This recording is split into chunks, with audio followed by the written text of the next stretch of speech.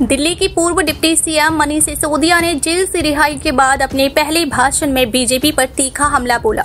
उन्होंने देश में बढ़ती तानाशाही के प्रति गंभीर चिंता व्यक्त करते हुए एनडीए और इंडिया गठबंधन के नेताओं से आह्वान किया कि वे पार्टी के लिए ही नहीं, बल्कि देश के लिए लड़े। सिसोदिया ने दावा किया कि यदि विपक्ष एकजुट होकर इस तानाशाही के खिलाफ आवाज़ उठाएगा तो अरविंद केजरीवाल 24 घंटे में जेल से बाहर आ जाएँगे। सिसोदिया ने सीबीआई और ईडी की कार्यवाही को अरविंद केजरीवाल की प्रभाव को कम करने की साजिश बताया। उन्होंने कहा कि केजरीवाल का काम देश भर में सराहा जा रहा है और यही वजह है कि उन्हें झूठे आरोपों में फंसाया गया है।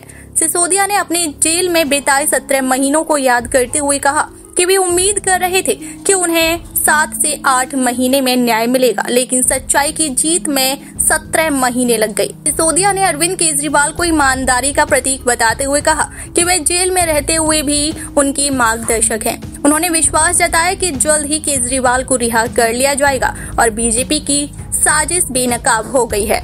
उन्होंने कहा कि सुप्रीम कोर्ट ने तानाशाही को कुचल दिया है और वे संविधान की ताकत की वजह से ही आज यहाँ खड़े हैं।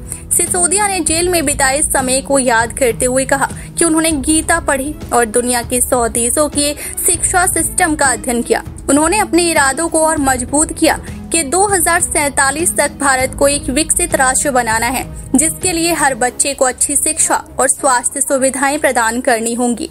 उन्होंने स्पष्ट किया कि बिना शिक्षा और स्वास्थ्य के कोई भी विकसित राष्ट्र बनने का दावा सिर्फ़ एक जुमला हो सकता है। मनीष सिसोदिया ने कहा कि विपक्ष के नेताओं पर ऐसी ऐसी धाराएँ लगाई गई जो आतंकवादियों पर लगाई जाती हैं। उन्होंने कहा कि जब आम आदमी पार्टी का इतिहास लिखा जाएगा तो कहा जाएगा कि सबसे मुश्किल वक्त में आम आदमी पार्टी के नेता लड़ रहे थे।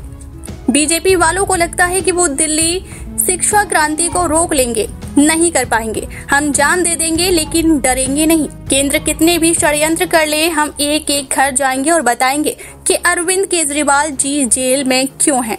बीजेपी के तोता मैना से भारत का संविधान ज़्यादा ताकतवर है।